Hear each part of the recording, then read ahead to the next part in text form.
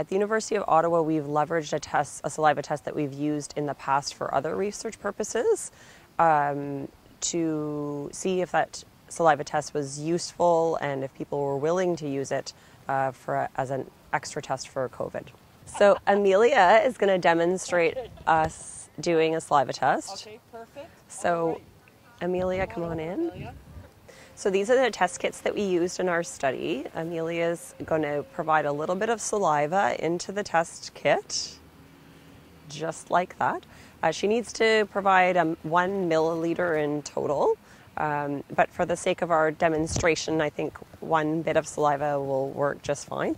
Uh, and then what she's going to do is she's going to close the top of the test kit, and that releases um, or that opens a membrane, which releases a virucidal, a substance or fluid that kills virus, as well as a preservative, so that these kits can be shipped safely back to a lab for um, ex- RNA extraction and PCR analysis. How we envision this working would be that people might be able to use the saliva test that may not otherwise be able to present to a testing center.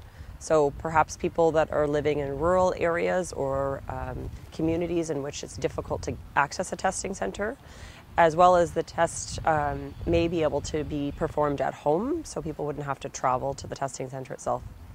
In addition to that, it's possible that we could use this uh, type of saliva test for people that have to be tested regularly. Examples of that might be healthcare workers or teachers um, and potentially children.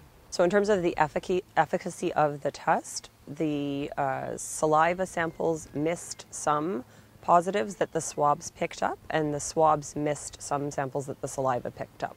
So, it seems that no, no test is perfect. Uh, the idea for adding the saliva test to the armamentarium of testing would just be to broaden the net of people being tested uh, so that we're better able to test and uh, track everyone that might be positive.